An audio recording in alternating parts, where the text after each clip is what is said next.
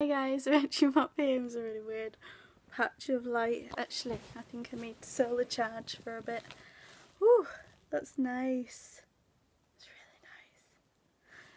I'll try and sit over here. That's really annoying. Um, yeah, so I've just done a live stream. Sorry if this is distressing to watch. I've just done a live stream um, and it was really fun, like a gaming one trying to do them every day. Well, I'm trying to do them every other day, but then if I miss a day, I try and do it the next day. And it's ended up just being trying to do it every day because I missed it all the time. So um, it was really fun. I just didn't know that my Sims like carried on aging. I was playing The Sims, by the way. Um, I've got some other games to play. I've been getting Humble Bundles quite a lot, and I got the that mystery one, is it mystery?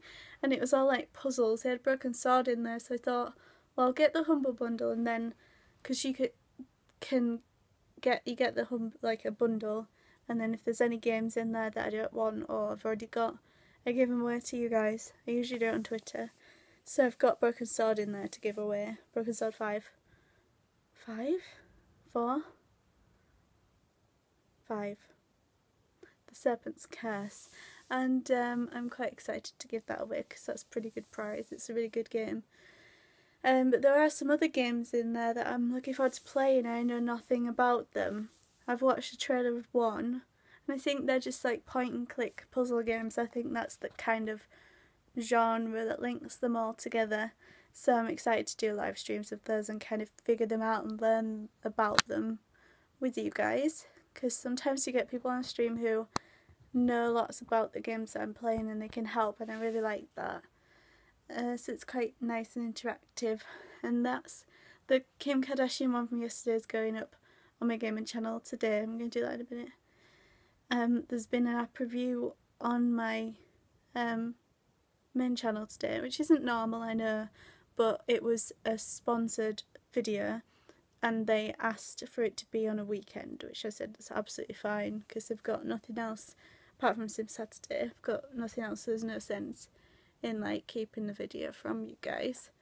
Um, yeah, that was sponsored, but you know, you guys know that that doesn't mean that I'm not going to be negative. I actually did find a little bug in that app, which they, which was really good because I, I actually sent them because it was a Famebit sponsor. You have to send them the video to approve.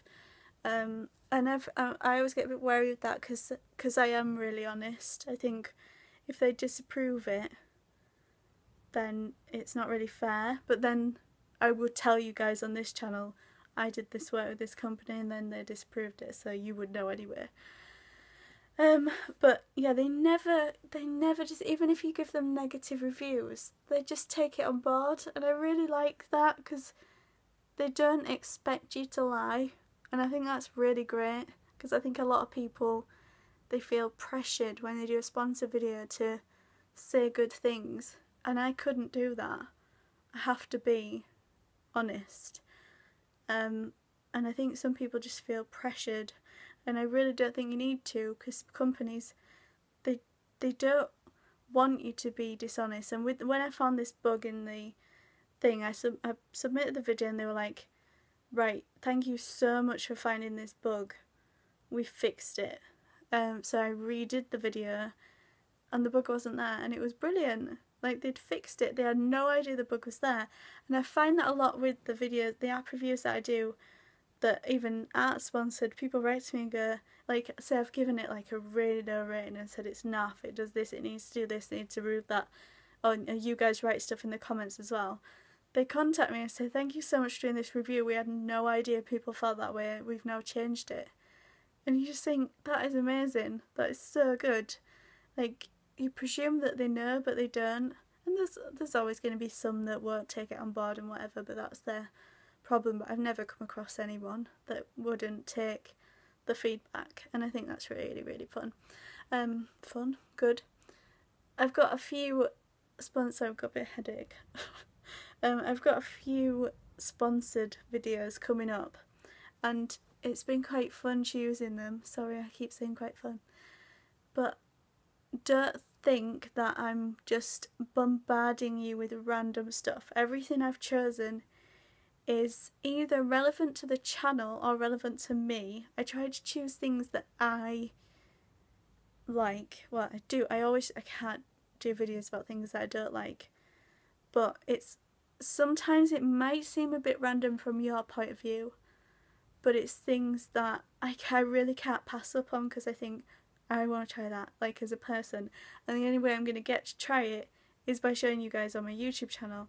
But it also gives me the opportunity to see what works and what doesn't, which is why I do all these challenge videos and like the get ready with me video, things like that I've never done before and sometimes I think, oh, how are they going to receive that?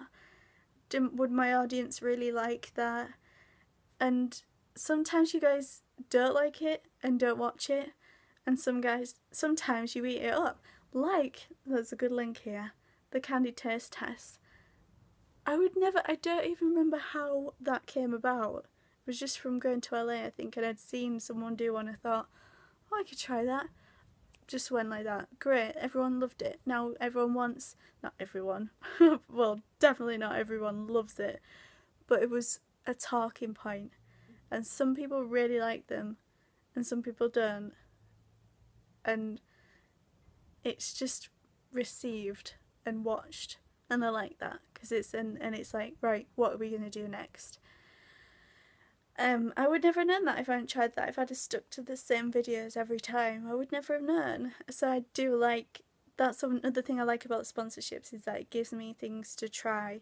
And there's some really cool ones coming. There's one that's like, as far as I understand, it's like a face mask, but that you can plant it afterwards and it becomes a plan. And when I see things like that, I think that is, I've never done anything like that before.